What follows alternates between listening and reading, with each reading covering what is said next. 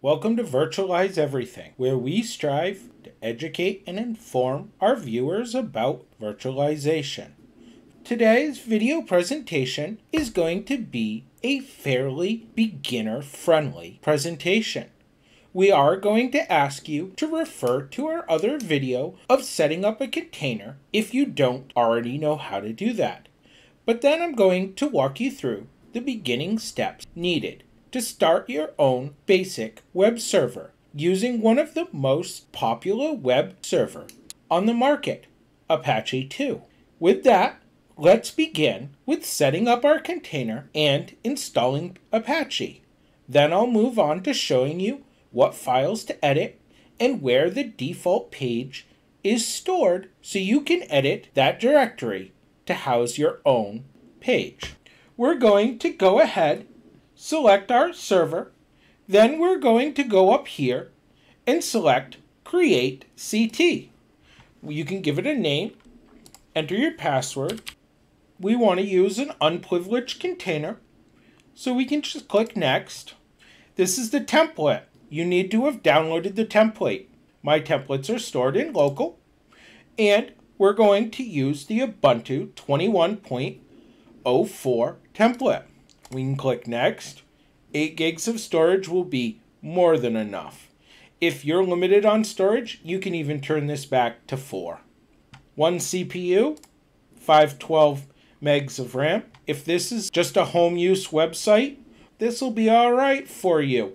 You can always go in and edit these settings if you find your server not able to keep up with the traffic. Your network address, you want to be static, and we can fill one out. I would suggest filling out your own, as your IP address range will not probably be the same. We're going to add dash 24 to identify the subnet mask at the end, and my gateway is that. We can leave DNS settings alone and confirm and press finish. Our container has been created we can go ahead and exit the task viewer and we see our container here. We don't need to do any additional configuration in our container. So we can press start and open our console. Now this brings us to a really nice console for working with our container without having to set up anything like SSH. To log into our newly created container, your login is going to be root. Our password is going to be the password that we configured at the first page of our container creator, right here, and then we confirmed it right here. The first thing we want to do in this container is to make sure we update our repositories and install any possible updated software that we may need.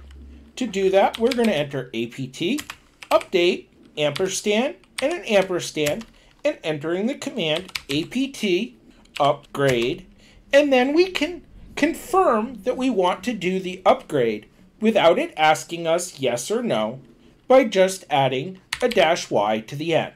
Press enter and the update and upgrade process will run. We need to now install Apache 2 so we can begin hosting our own web page. To do that, we're going to enter the command apt install Apache 2, and we're going to go ahead and add the dash y at the end so we don't have to answer that yes or no question.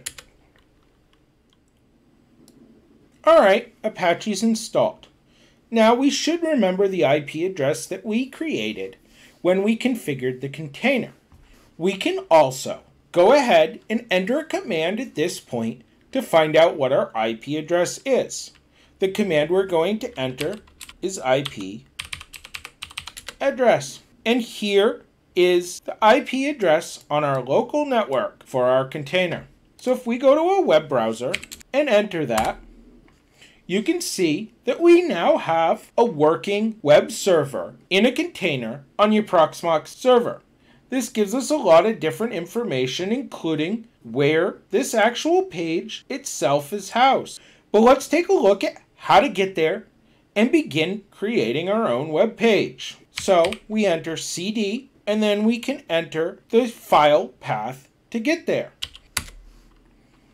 And as you can see, we can use the ls command to show all the files inside of this HTML folder. The only file we have is the index.html. Now, if we want to begin editing this page, we need to get it into some type of editor so we can modify the HTML. So to do that, we're going to use the Nano text editor. We're going to enter the command nano, and then we're just going to type the name of the file that we want to edit, index.html. And here you go. Here is the actual code that makes up the web page that we see over here. So we can begin editing things like, say, this line. But let's try just editing something quick so you can see that we can actually make changes. We added a welcome to VE. Now we can save this by hitting Control X, Y for yes, and enter. Now when we reload the page, we can see the title up here changes to Welcome to VE. That's all for creating your own web server using your Proxmox Home Lab server and an Ubuntu container. Please like, share, and subscribe to help us bring more great content like this video. As always, have a good night.